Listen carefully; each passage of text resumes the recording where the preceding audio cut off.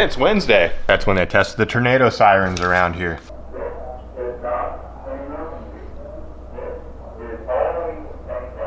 That one's like 300 feet that way. You guys remember when I made an engorged tick lure? Do I have it?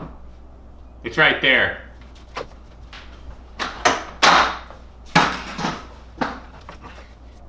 That's an engorged tick. I made this so long ago. It's held up so well. I used 30 minute epoxy as clear coat back then. Flashy legs in there. An engorged tick. Head lice don't really engorge themselves. And I'm thinking it'll be perfect for an open pour that I can layer some red into, some, some head lice colors, you know? I think I'm gonna chop the head off of the head lice though, and that's just gonna be jig. And this weird, gnarly body is what we are making. Let's serve up some fun facts.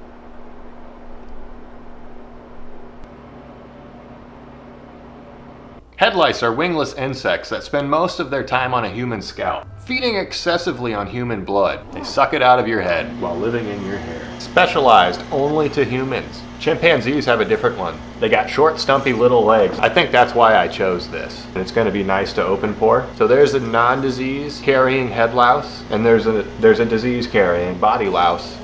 Stay away from the body louse. The head lice only lay eggs and attach to your hair instead of clothing. Ew. Body lice live in clothing. The two subspecies are morphologically almost identical, but do not normally interbreed. So you gotta wear like the same clothes for a long time. You get lice living in them. You get body lice and get diseases from body lice. I'm just making a head louse. Not gross at all. Males are slightly smaller than the females. The females are kind of just like this glob of like broken arms and bleh. And the males are like this little armored go-getting thing. Look at, we got a female right there and a well put together suited up male right there. Weird. Female head lice lay about three or four eggs per day. The eggs are attached near the base of a host hair shaft. It says in tropical warm climates, eggs may be laid six inches down or more from the base of the hair shaft. So if you have long hair, they can lay them six inches down the shaft. Wow. The adult female secretes a glue from her reproductive organ. The glue quickly hardens and it's a knit stitch.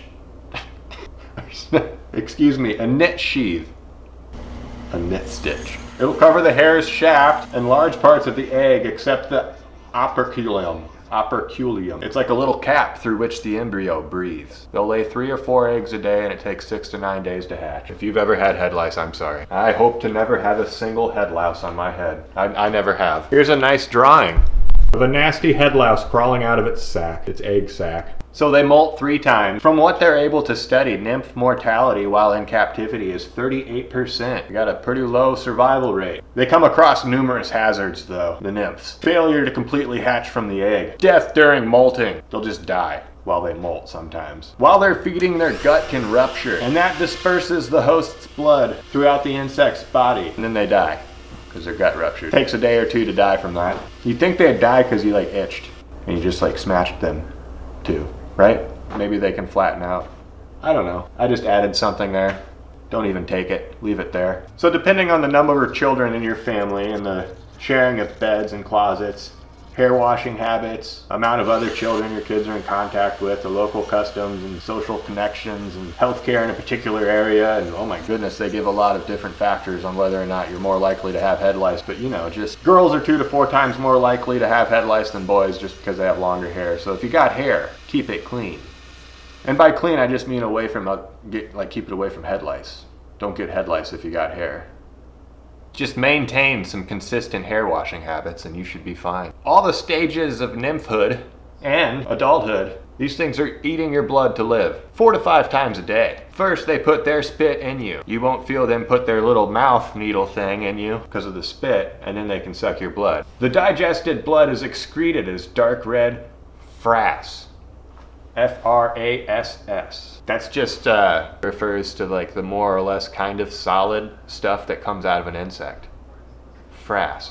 Pasty stuff from an insect. Although any part of the scalp can be colonized by head lice. They favor the nape of the neck. The nape of the neck. I've never even heard that, but I kind of know what it means. And the area behind the ears. That's where the eggs are usually laid. They don't have powerful legs for jumping or any ability to fly off of another human's head and land on an I know, like you have to share a hat, rub hair together, go like this, touch somebody else's head. Six, 12 million people, mainly children, are treated annually for the head lice. There's probably a lot more that aren't treated. By the way, I completely left crab louse out of the picture. We're not gonna get into that, and you're welcome. Even though it's like the third type of louse. Before I go any further with that, fun facts are over.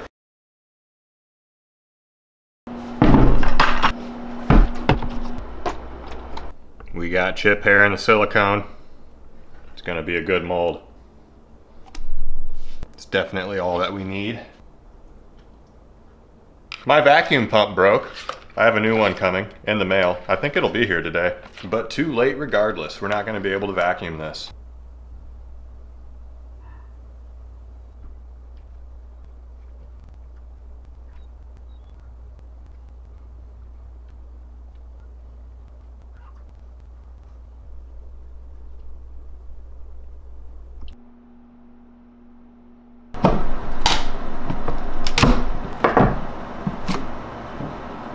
Wow, that looks gorgeous. There's no flashing. That would be difficult to improve upon. Our little head lice dude is a-okay too. We can make more molds if necessary.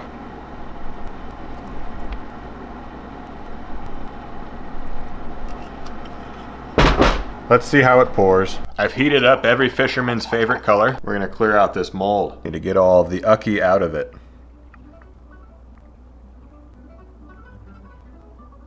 Oh, wow. Oh, whoops, did I spill over a little bit? It didn't matter, I just needed to get it all everywhere. Peel this out, it's gonna be all bubbly. Then we can get to pouring.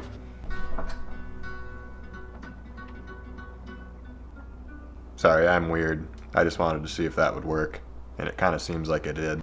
This, that makes me want to clean this off and use it.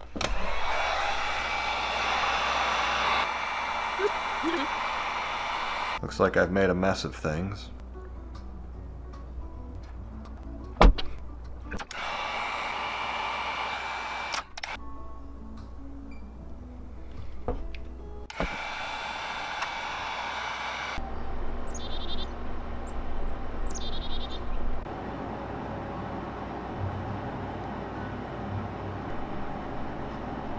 I'd say that worked. We got some foggy surface bubbling because it was the first casting, but that's usable. Let's just pour and demold a bunch. I'm really liking how those legs turned out.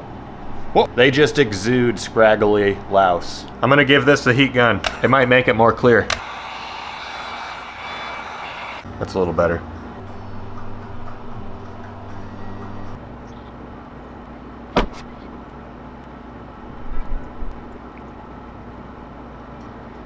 I'm gonna put some chunks of this stuff in there too. I think that looks good. That really makes it look like a lice. Louse. Ooh, I got some shad guts color. Let's get some of that in there. There's the kidneys. Oh my.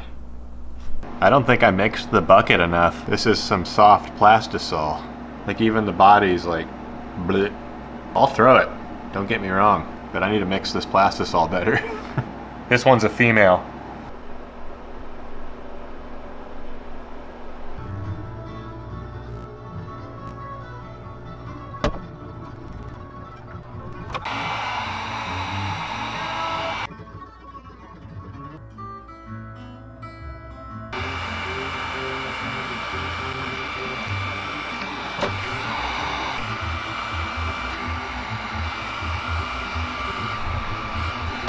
Think this one's gonna put the vibe off pretty strong.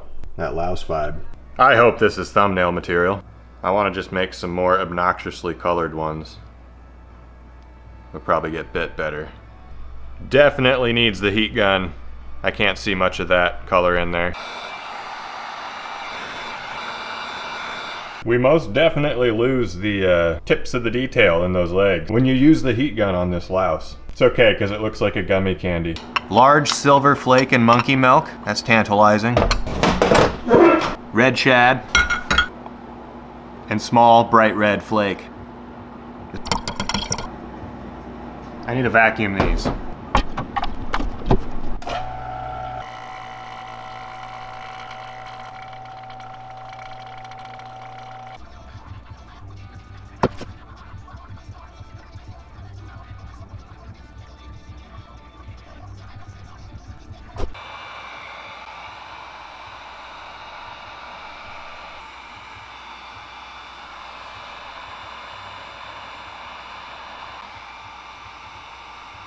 Dude, I'm getting all right with a heat gun and a butter knife. Slipping plastic where it belongs, you know? I was getting it into the claws there. Even got some color variation in the claws up front.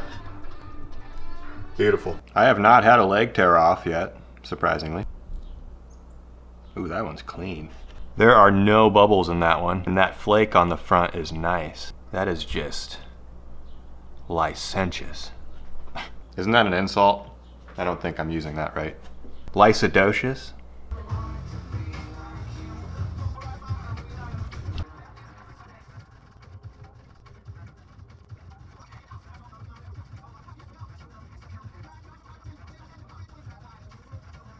We got red legs, we got bloody guts, we got some holographicness, and last is gonna be that really head lice looking color. This.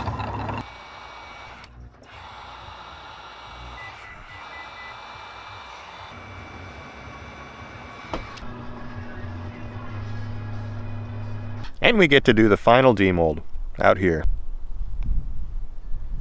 That's, that's definitely the best one. Look at that.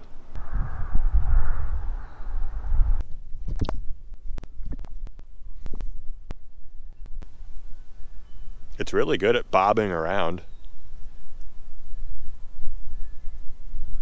It wants to roll forward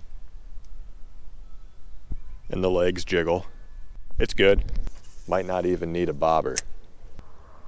It it kind of swims on a straight retrieve. What the heck? No, never mind. It was just waving around a little bit. I suppose rigging it backwards makes sense too. Once the other way of rigging it kind of wears out, you know.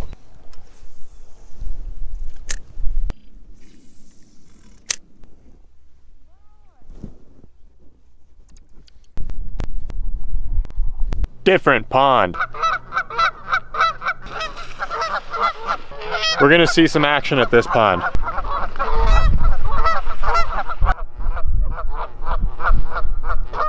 Will we finally make the first thing of the year official?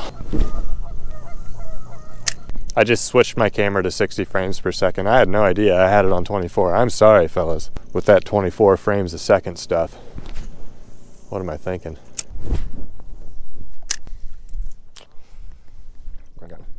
It's official. Sticks like head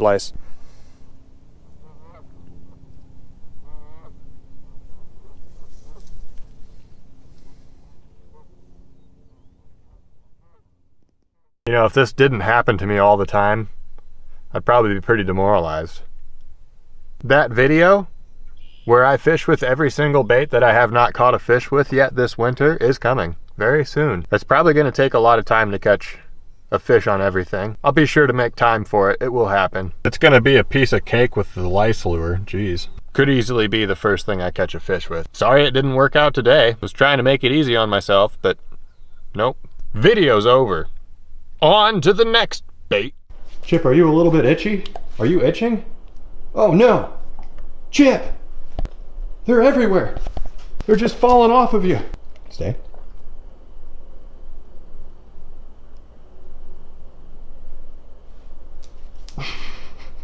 Good boy. Touch somebody else's head. Blech. It's a knit stitch. Blech. Don't even take it. Leave it there. There's the kidneys. Getting all right with a heat gun and a butter knife. Frass. Don't get head lice if you got hair. Lycidocious.